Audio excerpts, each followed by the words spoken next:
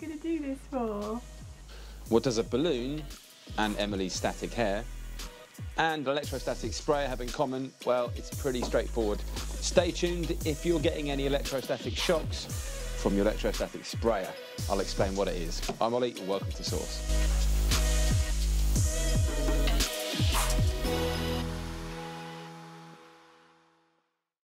So we've had a few calls and emails from customers asking what that strange little tiny electrostatic shock is when they're using their, their sprayer. What it is is an ESD, which is electrostatic discharge. Same thing happens to your hair when you rub a balloon on it, it creates a static electricity.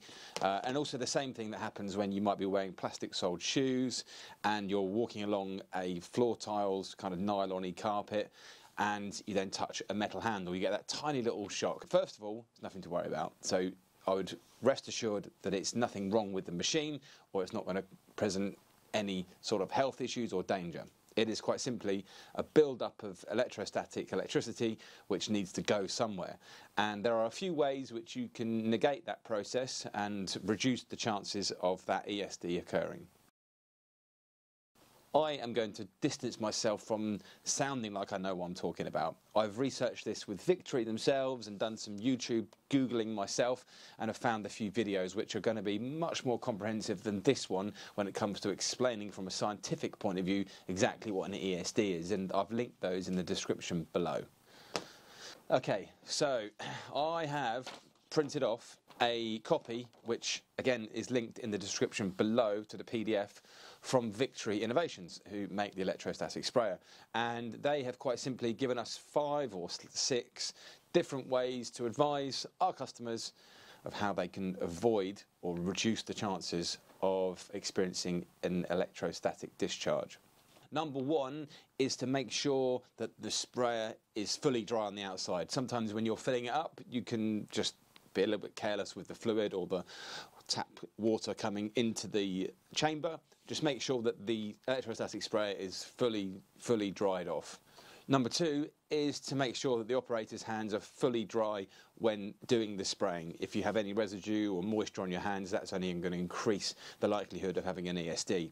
Number three is to make sure you're not walking into the spray. Now that's quite tricky because sometimes you're spraying ahead of you and you're walking into it. So one would suggest maybe spraying and walking backwards or spraying from a side to side uh, strategy before going straight through the path of your spray. So that takes some thought and some planning when it comes to actually doing the spraying.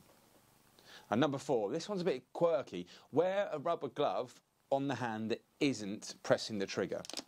So I've kind of gone into the fifth point as well, which is to wear a glove on your other hand and make sure that this hand here, you see there's a little metal strip, that's called the grounding strip.